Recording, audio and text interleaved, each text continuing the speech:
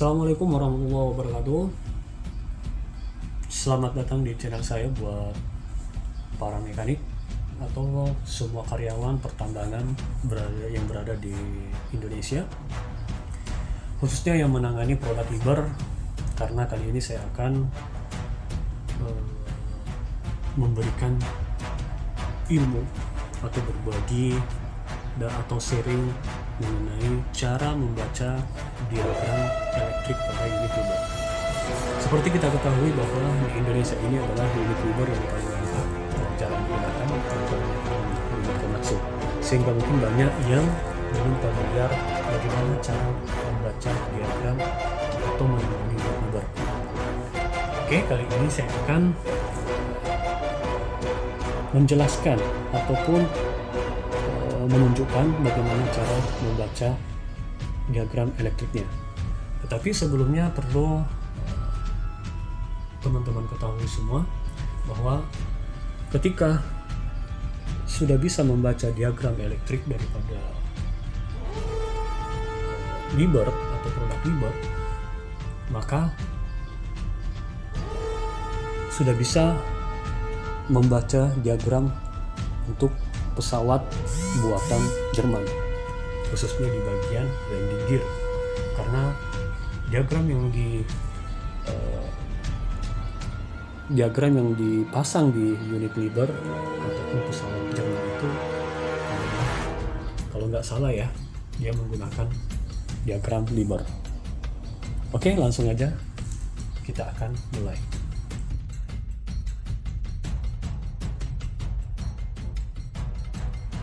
Sebelum kita membaca diagram daripada unit Liber, salah satunya saya akan contohkan di sini unit Liber R9100. Yang pertama adalah kita pelajari dulu halaman bagian depan tentang diagram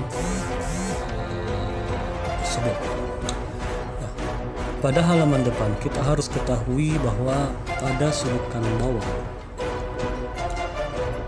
di sini ada informasi tentang diagram ini.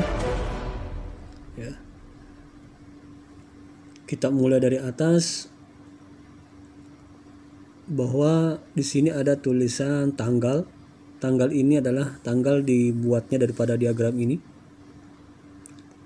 kemudian eh, nama penggambarnya ada di sini ya kita lihat di sini ada nama penggambarnya dan ukuran kertas yang dikeluarkan oleh Liber itu adalah A0 dan beratnya itu eh, 0,0 kg kemudian di samping kanannya lagi di sini ada halaman. Jadi dia mempunyai 37 halaman. Dan yang yang saya perlihatkan di sini adalah halaman satu dari 37. Nah, kalau kita lihat di sini saya sudah jelaskan dan saya sudah tulis keterangan-keterangannya. Kemudian angka yang sebelah sini 1132 merupakan seri daripada unit dan urutan kedua merupakan drawing number dan ketika angka 00 itu tertulis di situ maka merupakan angka eh, eskavator.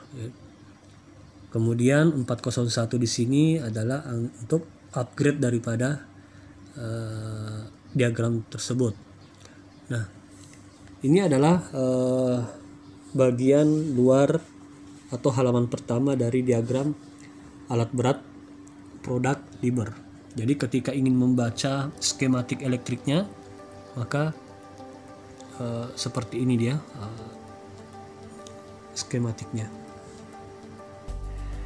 Kemudian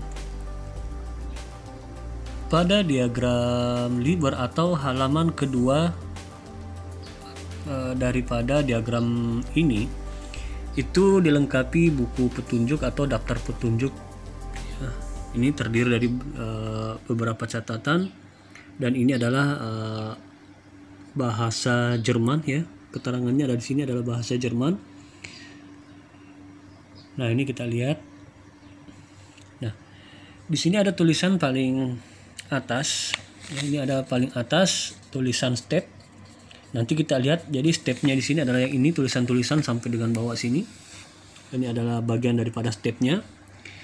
Kemudian X di sini menandakan bahwa pada unit liber itu ketika dia kode X maka uh, itu simbol daripada konektor ya konektor dan nomor konektornya adalah contoh ini adalah X52 dan ini adalah X67 ya. Berarti konektor nomor 67 ya, ini semua adalah konektor. Nah, kemudian di sini ada kode-kode yang lain lagi. Contohnya pada step yang ini ya step yang ini di halaman sebelumnya di sini ada kode K di mana K itu adalah simbol dari relay. Ya. Kemudian kita ke bawah ada M, M1, M2, M4. M itu menunjukkan simbol daripada motor. Dan kita ke sebelahnya di sini ada F. F ini menunjukkan angka daripada uh, atau simbol daripada pius atau sekring. Nah, kemudian kita ke kiri lagi. Stepnya di sini ada E. E itu adalah electric box. Dan untuk B, kode B di sini ada B704, ada B210 ya, B210, B211. Ini simbol daripada sensor. Nah, cuma di sini keterangannya adalah bahasa Jerman ya. Bahasa Jerman jadi harus diartikan dulu ke bahasa Indonesia ya untuk mengetahui lebih detailnya. Dan untuk kode A, ini ada kode A di atas di bagian stepnya. Ya. Contoh-contohnya di sini itu menunjukkan print plate. Ya. Uh, print plate. Nah, itu adalah kode-kode uh, pada diagram halaman kedua. Dan masih banyak lagi uh, kode-kode uh, yang lainnya Nah, di sini coba kita lihat di sini ada kode uh, Y ya. Y itu menanda uh, Y contohnya Y735 maka simbol daripada solenoid dan untuk YR itu adalah simbol daripada uh, solenoid variabel. Nah, ini ada tulisannya solenoid ya. Itu adalah contoh-contoh dalam membaca uh, diagram Liber. Nah, kemudian Bagaimana cara membaca dari diagram pada unit Liber? Yang pertama adalah cari dulu apa yang kita mau cari dalam diagram. Contoh, ketika ingin mencari, ya, ingin mencari dari uh, kita contohkan di sini, ya, ketika ingin mencari Y 703 ya. Saya ingin mencari konektor Y703 maka Y703 ini saya harus cari di step 69 ya, itu contoh ya. Contoh.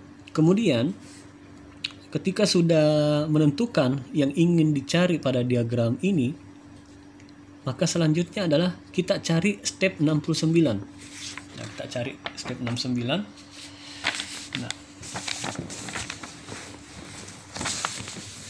Nah, ini yang dimaksud dengan step di sini adalah kode pada bagian atas sini. Ini adalah step 1, satu kolom dan ini adalah step 2 ya. Dia juga dalam satu kolom dan ini adalah step 3 dan seterusnya. Ini ada step 4, step 5 dan step 6 ini uh, diagram ini biasanya di bagian atas itu ditulis step-stepnya ya. Nah, itu. Kemudian untuk di samping kirinya, ya kita lihat samping kirinya, di sini ada kode ya A, B, C, D, E, F dan seterusnya. Jadi nanti kita akan diarahkan ke uh, step ini sesuai dengan perintah daripada uh, halaman depan tadi kode yang kita cari. Karena tadi kode yang kita cari adalah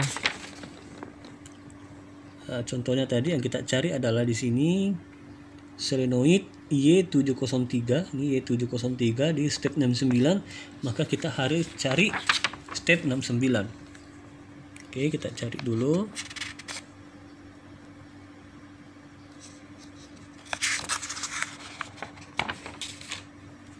ini baru step 13 kita buka lagi. Ini step 22 kita cari step 69 ini sudah 50 sudah step 60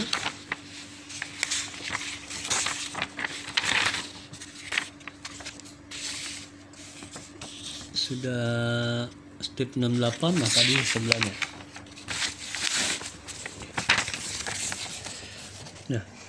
sekarang kita sudah berada pada step 69 ini adalah step 69 panjang. Maka sampai di sini batasnya. Maka maka solenoid yang tadi dengan kode yang sudah saya jelaskan tadi itu harus dicari di dalam kolom ini. Sampai batas lurus daripada kolom di atas cari kode di dalam kolom ini ya. ya kita lihat tadi bahwa kode yang kita cari adalah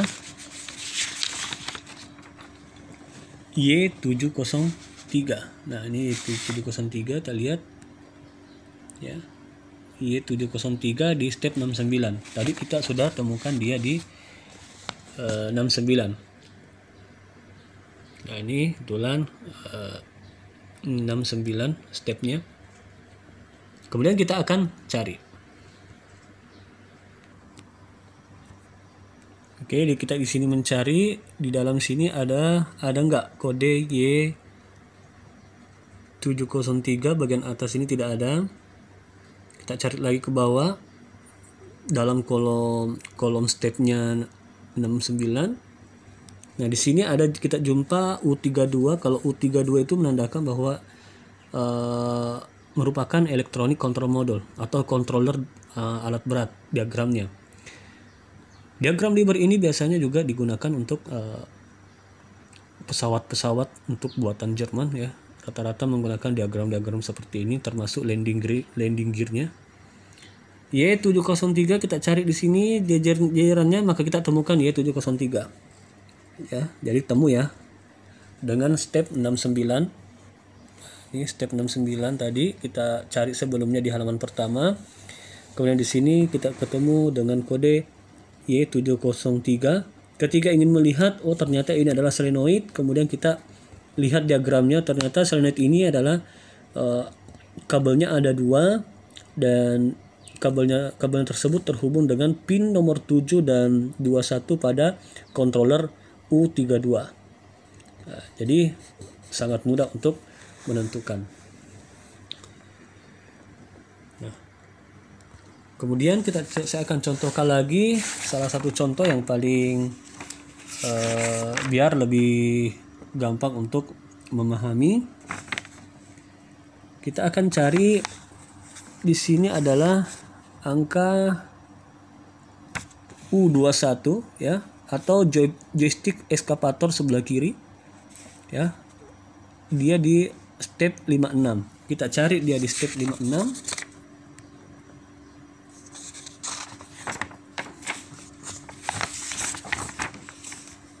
Ini baru step 23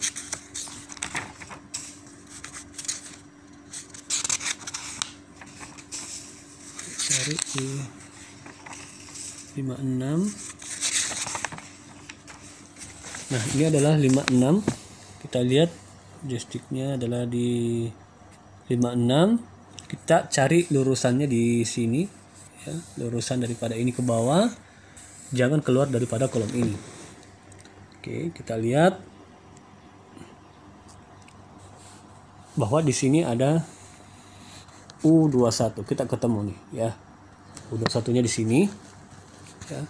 U21-nya di sini terdiri dari ada empat sensor atau switch, ada S5L, S5R. S5R ini biasanya disebut dengan klakson. Ya. Ini banyak macam nih di sini dalamnya nih. Ya. Jadi tinggal kita urut kabelnya ini lari ke mana dengan nomor kabelnya yang di sini. Dan ini adalah konektor 1 dan pin 2. Nah, seperti ini cara membaca diagram untuk liber. Semua unit liber seperti ini cara untuk membacanya. Sekian dari saya untuk penjelasan atau materi untuk alat berat dan cara membaca diagram untuk hmm, produk Liber di mana produk Liber ini sangat berbeda dengan unit-unit lainnya karena merupakan produksi daripada uh, Jerman dan Prancis sehingga ketika kita bandingkan dengan Komatsu maupun Caterpillar sangat berbeda untuk pembacaannya. Tetap ikuti channel saya uh, selalu uh, di share channel saya dan jangan lupa di subscribe karena saya akan selalu memberikan ilmu yang mungkin jarang didapatkan di luar. Terima kasih. Assalamualaikum warahmatullahi wabarakatuh.